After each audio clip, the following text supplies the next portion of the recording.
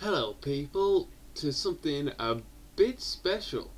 This is my side let's play of a game I never thought that I would end up let's playing. However, it's sunk its claws into me over the past few months that I've played it. And I'm jumping on the bandwagon like so many other people have. I will be let's playing this game with this little dude who's got ropes and going into a cave or something. Derek Yu presents Spelunky! Like so many other people, I'm jumping on the bandwagon and I'm gonna play this lovely little platformer. I'm just gonna try and get the audio just about right again. I'm just gonna keep it like that. So yeah, Spelunky, a little indie game made by Derek Yu, and it is brilliant. One of the best indie games I've ever played, and I'm deciding why not do a side let's play of it. Now before I jump into it, I'm going to show you my scores. I have unlocked two trophies, and this isn't the only game I've ever played. I have, unfortunately, completed it at least once. In fact, I've completed it on my other game. I've completed it around about three times now. However, that doesn't make it any easier. This game is very difficult. You will see me fail a lot. And it took me quite a while to get this one and to get the top one. However, I'm not going to go into them. I'm just going to play the game for you. And I will be playing it through to the end. And for people who know about this game, I will, well, probably after I finish this game, I will be showing you how to get to the fabled City of Gold. Yep, I will be showing you that. But let's just jump right into it in the tutorial. Welcome to the tutorial cave. This might be your first time playing. Not. Press B3 to jump. I'm using a PS2 controller to play this game. You can hang on ledges too, cause I'm a ninja. Press B4 to use your whip. Smack! Die, snake. Collect the treasure. That's one thing you definitely want to do in this game. And I'll tell you how to do the rest. There's more stuff. You can open chests. Grab more gems. Basically, it, it's relatively simple. Top left you got your hit points, you got your bombs, you got your ropes, and the treasure that you've currently collected. You can hang over ledges and flip down so you don't take fall damage. You can pick up rocks and stuff and throw them at bats. The bats do come down at you if you get close enough. Use your rope to get up to high places. You can dash. You can pick up crates and set up bombs to blow your way through levels. It's a destructible environment, which is epic. You just jump over and get to the end. So let's get into this. Tutorial cave completed. Now I'm just going to say, uh, this game was brought to my attention by a Let's Player by the name of Kikoskia, but, well, I'm hoping a lot of you know of. He's really great guy, Kikoskia is. Very funny, great Let's Player. Uh, so it's brought to my attention through him mainly, and Gavarok Fevanor, and Himitsu SJ. They're the main people that I know that have done this, and multiple other people.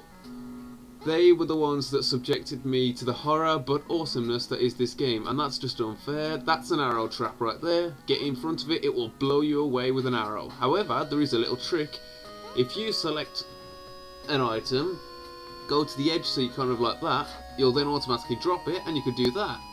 And then you could just jump down, pick it up again and put it back into inventory. It's a nice little trick. Although it takes a while.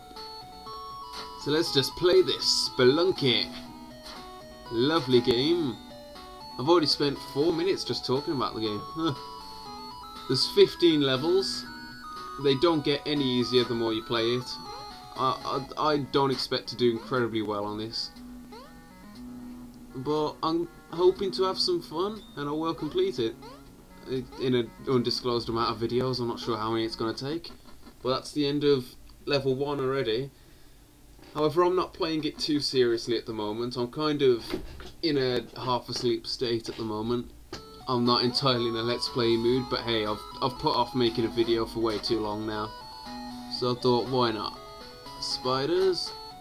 You can pick up a lot of stuff, like over here. Be careful. No, okay. You can pick up a skull, but they break on impact.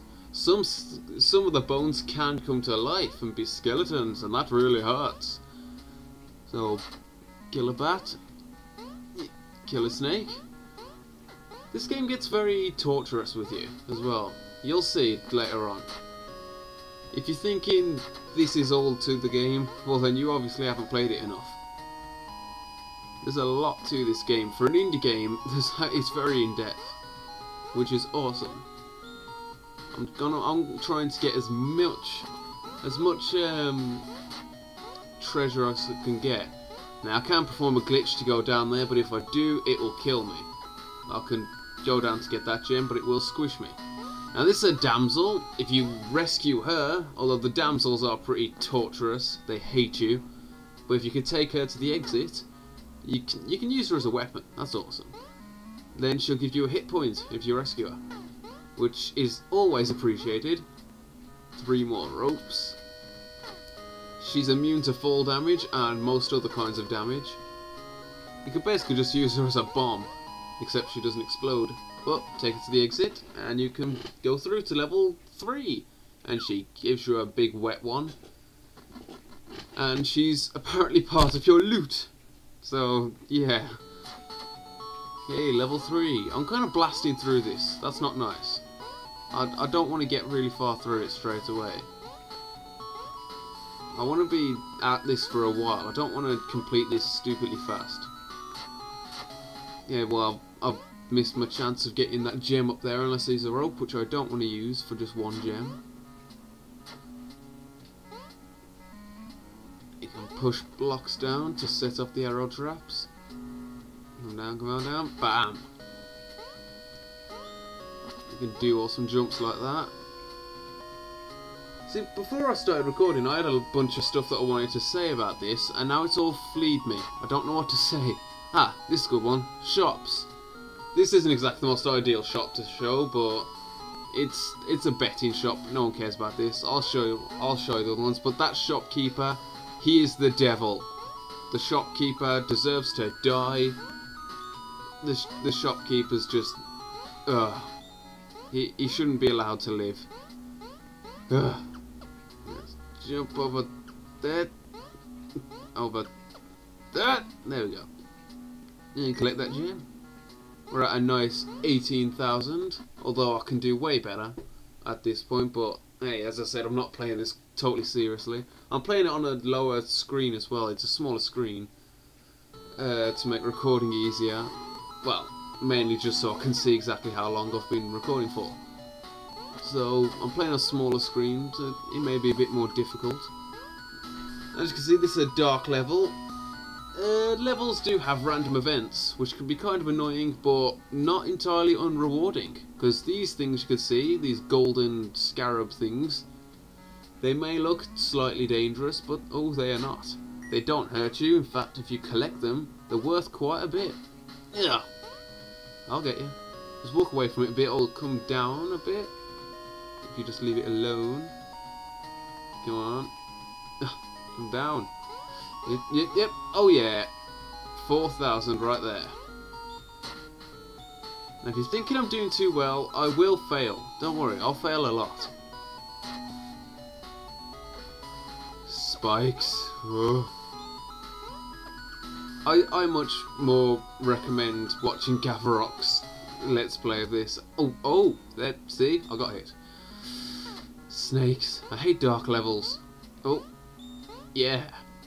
Gavarok's Let's Play of this is much funnier. And I would go for the whole you can guess commentate with me on this, but I'm scared that people will then say I'm trying to copy Gavarok by doing that, which I, I would never try and copy him. Oh, the, the key up there, should I bother with that? Uh, I don't know if I should bother with the key or not. You know what, I won't.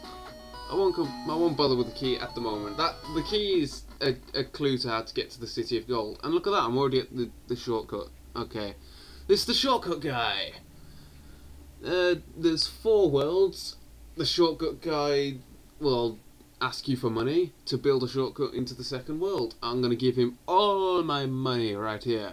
All 37,600 of it. And so, yeah, thanks. You won't regret it. And this is World 2. Different music. Actually, I need to point that out. Spelunky has amazing music. That's basically all I've got to say. Uh, I'm kind of running out of time, so I'm probably going to just wrap this one up here. Thanks for watching. First episode of Spelunky. There's going to be a lot more, at least I hope. So, see you next time. Good night.